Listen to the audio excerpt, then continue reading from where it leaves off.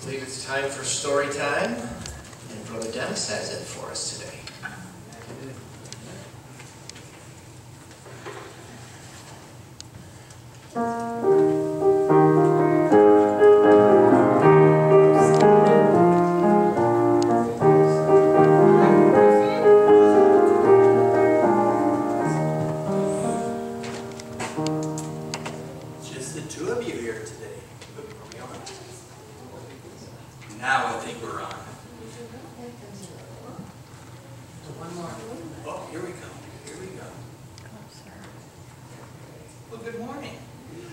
Last time I was here, I talked about my mom.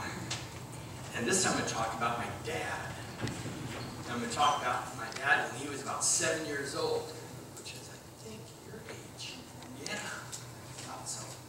Anyway, uh, he had an older brother, Joe, and Joe was about 12. And in a long, cold, rainy, snowy, icy winter. This was in Northern California. And they, they- there they have actually, they have mountains, not like here. You know, they have, they have real mountains. And, but uh, the winter went on, it seemed like the school days, you know, might have a, a sunny day, but not on the weekends. But finally, towards spring, they finally got a nice warm day that appeared to be coming on. And Joe goes, hey, just climb to the mountain. Well, behind their house, and up, well, a few miles behind their house, they had a mountain that still had snow on the top of it. The rain had kind of dissolved it all away. So they thought it'd be fun to go and climb the mountain. Well, my dad was the only, they have three brothers, and my dad was the only one that wanted to go. So they took off across the fields, which is pretty easy, across the farmer's fields. But when they got close to the mountain, they got to heavy shrubs, and bushes, and poison oak, and poison ivy, and of course, it's, it's a, it was turning out to be a really warm, warm day. And so they knew that the snakes would be out and all the other reptiles and who knows what all out there. But they, pushing through the bushes and trying to stay away from the poison ivy and heavy grass and stuff, finally got to the bottom of the mountain and they were already tired. And they had, before they left, they had made a little lunch for themselves and had their little canteens. You know, they were prepared for this hike up this mountain. It wasn't a huge mountain. It wasn't like Mount Everest or anything like that. But there was still snow up there. They dug, you know, now that it was really hot, down below and there's a little bit of snow, it'd be fun to get up there. So they were hiking up the mountain and then going through the, when they got, they were in the sun, when they were going through all the brush, they went into the, into the area where there's lots of trees and where the forest is, and they're going out through the forest, and it was even kind of hotter in the forest because the breeze was gone, and so they were drinking, and pretty soon they were out of water. They weren't even a third of the way up the mountain. But they were not afraid because they knew there was a stream ran down the river, ran, ran down the mountainside, and they were headed toward it. They had to go through some more clear cut, they call it, where all the bushes and the grass and the holes and the stumps were, but they pushed through those. And they were getting pretty thirsty, and then they had to go through some more logged areas and then some more forest areas. But as they're cutting up this hard, it's gotten pretty steep mountain. And they finally were really close.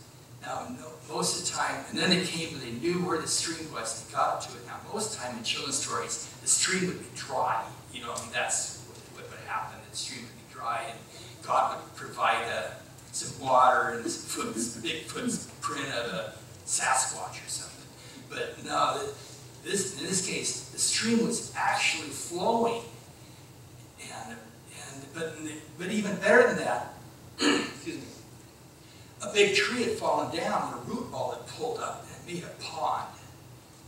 And they go, wow, neat. So they stripped off their clothes and they jumped in this. It was, you know, snow run up. It was cold. They didn't stay in there very long, but they could kind of hang their feet in there, refill their canteens, get cooled off, ready for the rest of the trip to the top of the mountain where they get into the snow.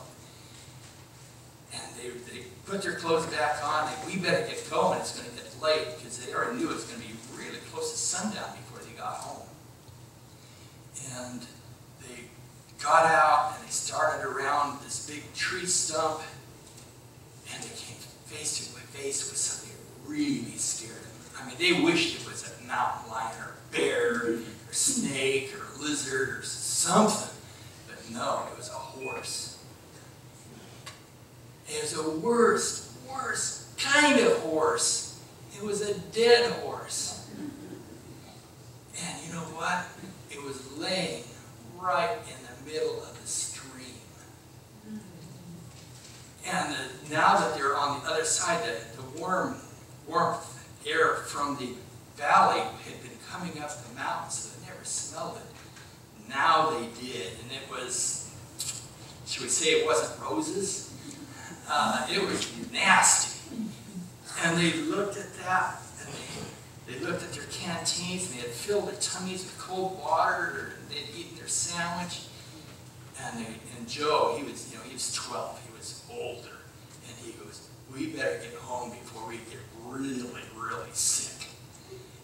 And he, they started running back down the mountain. They dumped out the water in the canteen, but they couldn't refill it because it had all this stuff in it. And because that horse had been dead for two or three weeks, and so the water was not running over the horse, it's kind of running through the horse.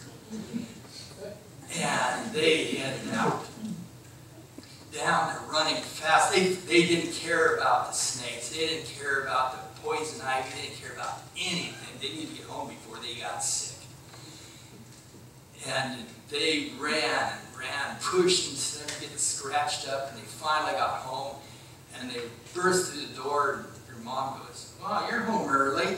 And they, they said, they told them what happened. I don't know if you've ever had a hip attack. You know, it kind of makes you throw up. Well, that's what they got. And then the stomach really hurt, and they got a nice bag with lots of soap. And you know what? God protected them because they did not get sick.